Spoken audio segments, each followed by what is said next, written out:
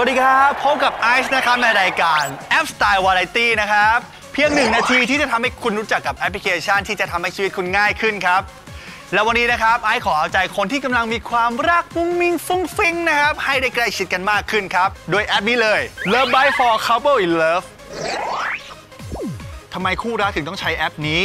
ก็เพราะว่าแอปนี้ทำหน้าที่เหมือนไดอารี่คู่รัก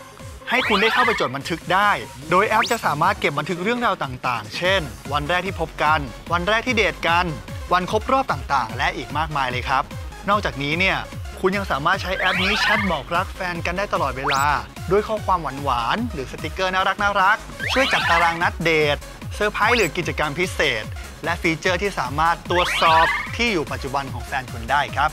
และนี่ก็เป็นแอปพลิเคชันที่ไอซ์นำมาให้คู่รักได้สวีทหวานแหววกันมากยิ่งขึ้นนะครับพบกับรายการแอปสไตล์วาไรตี้ได้ทุกวันนะครับทางช่อง Gen 4เวลาบ่ายโมงสำหรับวันนี้ไอซ์ต้องขอลาไปก่อน สวัสดีครับ